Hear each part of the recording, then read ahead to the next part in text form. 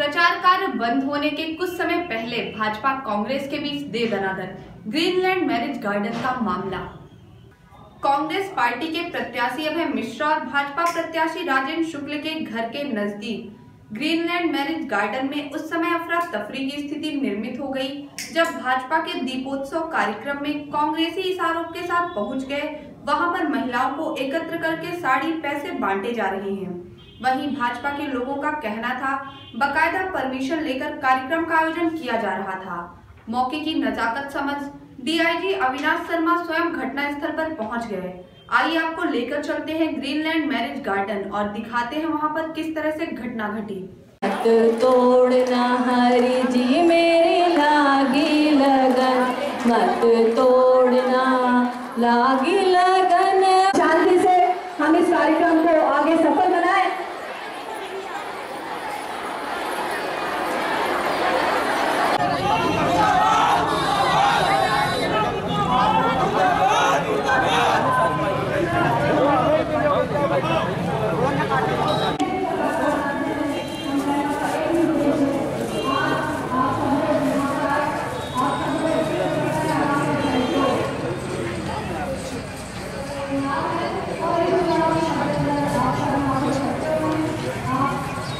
मेरा साफ़ है ये कहना है कि अगर आप मंत्री जी ने विकास किया है तो पैसा बांटने की ज़रूरत नहीं है। मंत्री जी ने विकास किया है तो गलियों में जाने की ज़रूरत नहीं है। वो घर बैठे चुनाव जीत सकते हैं, लड़ सकते थे।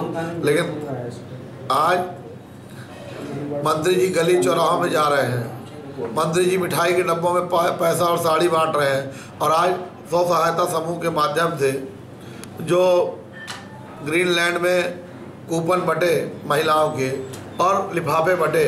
और आप सब पत्रकारों को मालूम है? एक एक पत्रकार को मालूम है कि ऐसा हुआ है।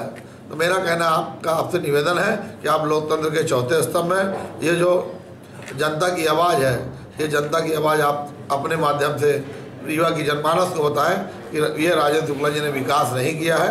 अगर विकास किया होता तो ये सब करने की ज़रूरत नहीं थी। अब हम आपको सुनाते हैं भाजपा प्रत्याशी राजेंद्र शुक्ल और डीआईजी अविनाश शर्मा घटना के बारे में क्या कह रहे हैं।